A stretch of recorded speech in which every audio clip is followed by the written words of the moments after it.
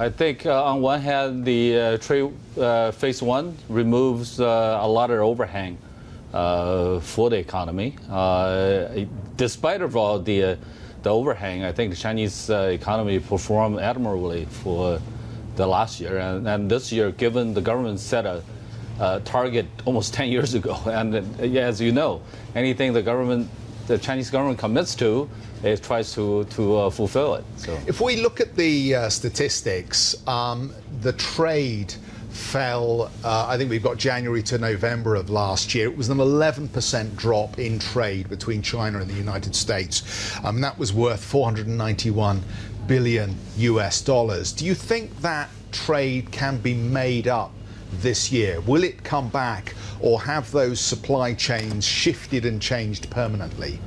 I think even last year, despite of the drop on the bilateral trade, the uh, overall trade for China actually grew. Uh, it grew by overall about five percent. I think for close to five percent, because it's made up largely uh, with trade from other countries. So this year, given the commitment on the Chinese side, buying U.S. agricultural product, manufactured product, energy product, and so on and so forth. We're talking in the next two years to increase uh, the purchase by about $200 billion, and that should be made up. So there's something I don't understand in this. If the economy is growing at 6% and seems relatively robust, if trade is growing with or without the US contribution, but now we have the extra stimulus of a trade deal, why are we talking about triple R cuts? Surely we should be talking about triple R rises potentially, if indeed things are looking so good on the economy. Uh, things, uh, the economy is growing largely due to uh, pickup in consumption, but at the same time, investments been coming down. And the economy overall is highly leveraged. Uh, the deleveraging process, which started about three years ago, uh, has achieved some results.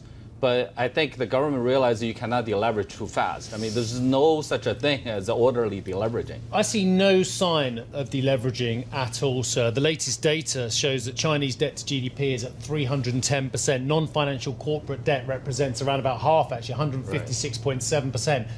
Those are terrifying, dare I say it, Western like figures as well. Uh, the West hasn't managed to delever in decades. How can China do it?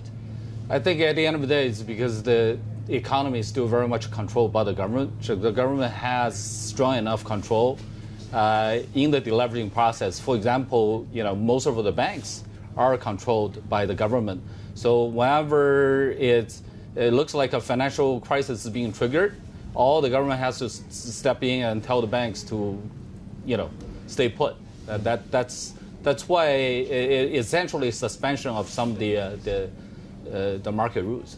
Um, off air, we were chatting, and you said you think we may have seen peak uh, growth capital now in the uh, private equity venture capital side of, of, what's going on in China right now. What, what comes next? What, what do you think is going to emerge as the big theme for this year?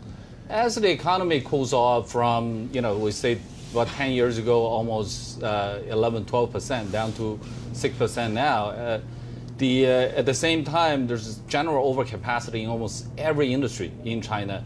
Consolidation is what's needed to improve the return on capital, hence reducing uh, you know, the, the leverage uh, through you know, the improvement in cash flow. So the buyout is it's, it's clearly on the rise, and uh, we've been focusing on a lot of buyouts in the, over the last several years. Hi, I'm Joumanna Bercetche and thank you for watching. You can check out more of our videos by clicking on the boxes on the screen. And don't forget to subscribe to our channel for more from CNBC International. Thank you for watching.